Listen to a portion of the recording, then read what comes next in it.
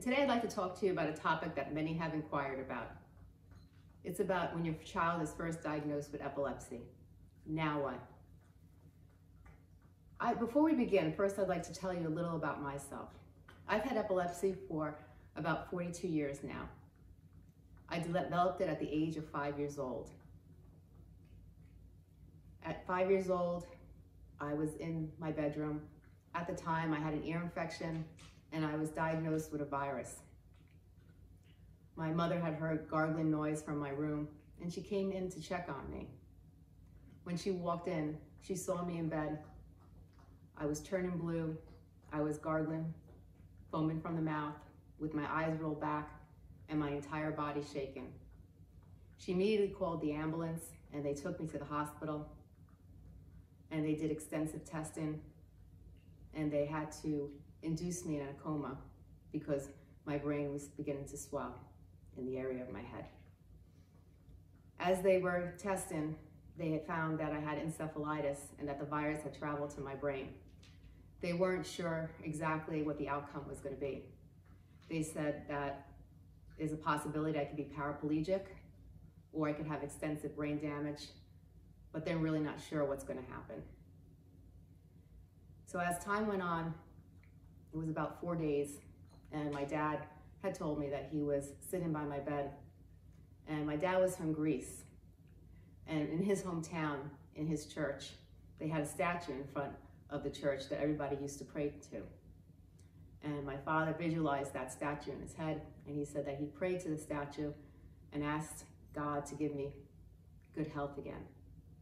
When he opened his eyes and he looked at me, a tear rolled down from my eyes. And I looked at him. The first thing I asked for was McDonald's french fries. I wasn't paraplegic and I didn't have brain damage, but I did have epilepsy. I've struggled my whole life with epilepsy. It's been a very difficult road, lots of obstacles, more like a roller coaster, going up and down, up and down. And it seems like it's a, a forever ride that you don't know when it's going to end. But I wasn't going to let it get me down, and I wasn't going to let me let it stop me from living life. So as time went on, I just did everything I could to live a normal life as can be. But in the beginning, it was very hard. I was in denial for a long time. I didn't want to accept the fact that I had epilepsy. I didn't want to face everything that I was going through. And I thought if I could just just put it behind me and just act and think that I was normal and I could do everything everybody else can do and just if I didn't think about it, I could just make believe it wasn't there. But throughout my life, I lived a long time with uncontrolled seizures. I took many different seizures because when the virus encephalitis had traveled to my brain, it caused scar tissue damage. To this day, they can't find the, locations of the scar tissue because the scar tissue is so small that they believe that the scar tissue was throughout my entire brain. So I would take seizures from a focal seizure to a partial complex seizure to a grand mal seizure.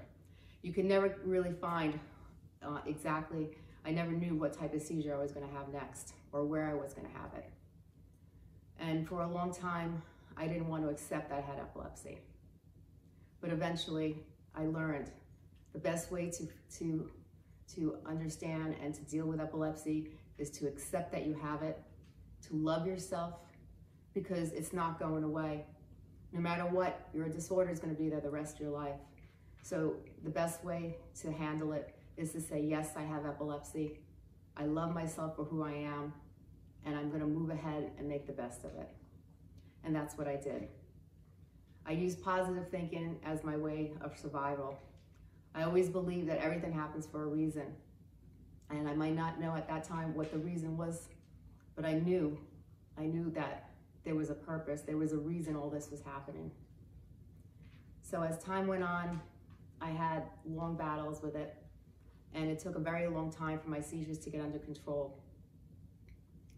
And as, I, as time went on, I, I started to go out into the working world and I actually had the, the dream job of my life and I actually was fired from the job because one of the producers saw me have a grand mal seizure and he walked over me and kept walking. And 30 minutes later, I was released from my position. But I still didn't let it get, get it to me. I said I wasn't uh, going to let this let this get me down. And I realized that having epilepsy actually made me a better person because I learned how to be more compassionate, more loving, more understanding. I looked at life differently. I actually started to have gratitude for the little things in life.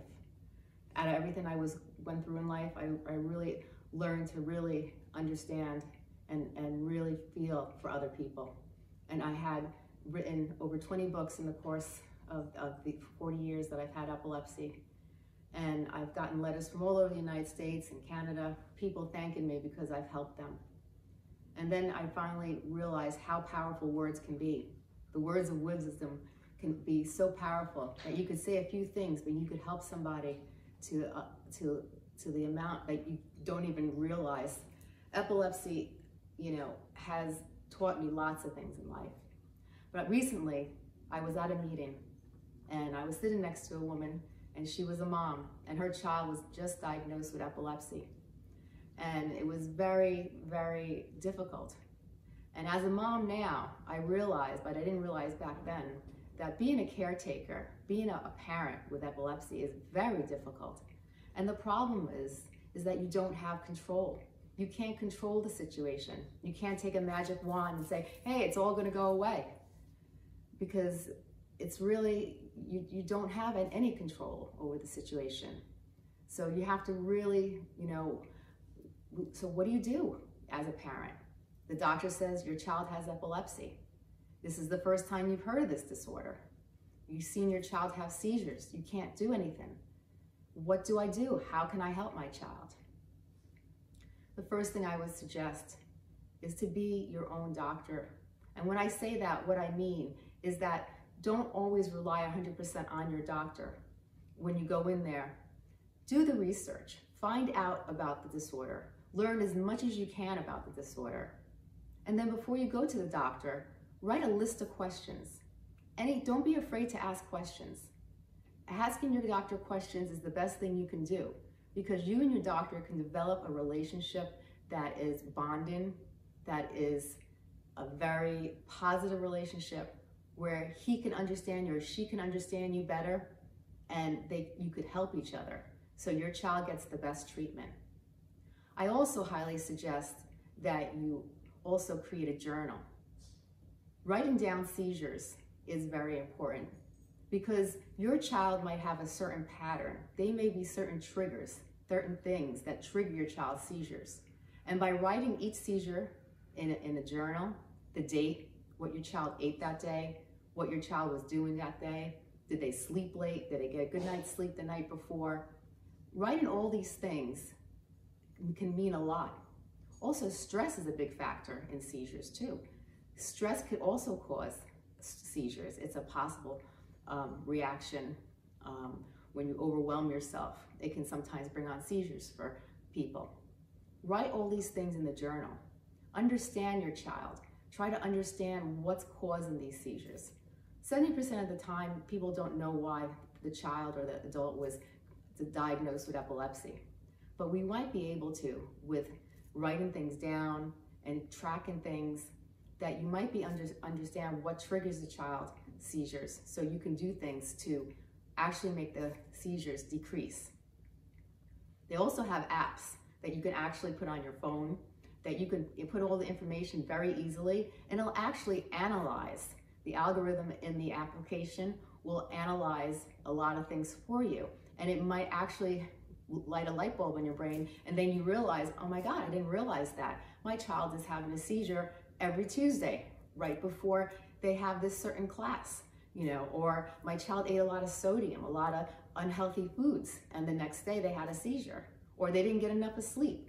And then you start, you can start creating a healthier lifestyle for your child that actually might help also, I suggest the Epilepsy uh, Foundation has a, uh, an amazing website. Their website is really good. They have a lot of good information. Everything is um, written or it has been reviewed by doctors. Um, they have a lot of links to a lot of different resources and support groups because I think support is very important also because you could learn a lot from another person who's had the disorder or another caretaker and you can understand the disorder better and help each other through support groups. And they have a lot of different helpful books and different things in on the on the website. And this could be a very useful resource for you as well. I also like to discuss too is that the emotions. One thing I've learned is that when you go on the internet and you type in epilepsy, you'll find the causes, the treatments, you'll find out the definition of epilepsy, you'll, you'll see videos explaining different aspects of epilepsy, but you won't see any, a lot of information at all, practically none, about the emotional and the mental aspect of epilepsy. The frustration, the anger, the stress that you feel, the scared feelings, going to bed every night, not knowing if your child's gonna have a seizure. And then there's a lot of information on the website that, you know, is not so resourceful, that people write things and some of the information isn't very good. A lot of that information can scare you. Even the information that's resourceful, you know, some of the information you read could be very scare, scary to a, a mother or a father or, or a family member or a caretaker who's just found out that their child has epilepsy. So I, I really suggest that, you know, that you start to actually write, have a, a diary to ex express how you feel each day, to talk to your child, have good communication with your child. Try to explain to them what's going on the best you can. And if they're very young, you know, tell them little things little by little. And as they get older, try to explain more and more in a very simplex way.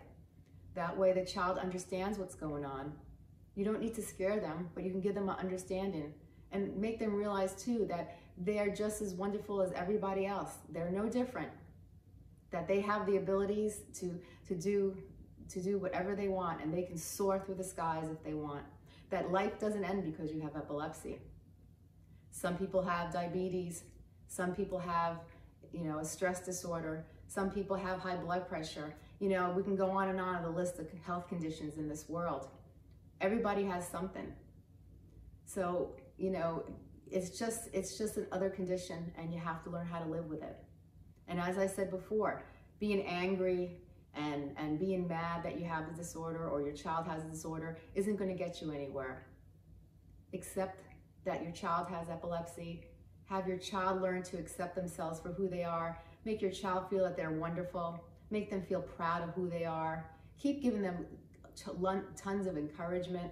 Talk to them on a daily basis and really just keep pumping in because self-esteem is so important. If they have a good self-esteem of themselves, they can pretty much accomplish anything in life. Epilepsy won't stop them. Make them feel that they are they are a great person and that they have the ability to, to conquer all their dreams and just stay by them and watch over them and explain to them their limitations and that they can't overdo certain things. And little by little, just keep doing your research and keep going over everything. And together, you'll be able to get through this. I got through it, and so can you. If you have any questions, or if you'd like to talk to me, leave a question in the comment box and I'd be happy to answer any, any questions. You have to realize that there's, there's tons of resources out there. There's tons of support groups. There's tons of events about epilepsy. You need to just do your research and just be able to accept the situation and take it day by day. Because you have the, the components is just taking it day by day, being positive, and just you know, doing the best you can to find the ways to make your child's life a good one. And also before I go, I just want to stress that lifestyle is so important. Make sure your child gets a good night's sleep. Make sure your child's eating healthy foods. A lot of people don't realize, but the foods they put in their body and the foods that you feed your child, if they're unhealthy, if they're full of sugar and sodium and they're full of artificial ingredients and all these things, those toxins lay in your child's body, they build in your child's body, it causes stress on the organs, and it could also, it could also decrease their focus, and it also can trigger seizures. Everything matters, and you have to keep that in mind. So everything you do, do the best you can, and that's all you can do. But lifestyle, communication, and just accepting it and loving it, loving your child, and don't blame yourself. These are all things you can do to better the situation for epilepsy. Thank you so much. I hope my video has helped.